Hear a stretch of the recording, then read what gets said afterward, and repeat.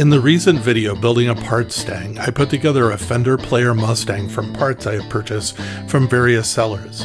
I did not have Mustang pickups at the time, so I'd installed a set of blue and red lace sensor pickups in the guitar. The sound they produced was okay, but kind of lacked the oomph that a Mustang should have. Also knowing that there was P90 routing and originally the body had P90s installed because when assembling I could see the screw holes kept me thinking, especially when I knew that I had a set of Seymour Duncan Antiquity P90 pickups sitting in the shop not being used. When I saw the pickguard come up in my eBay feed, I figured it was a sign and something I needed to get out of my system.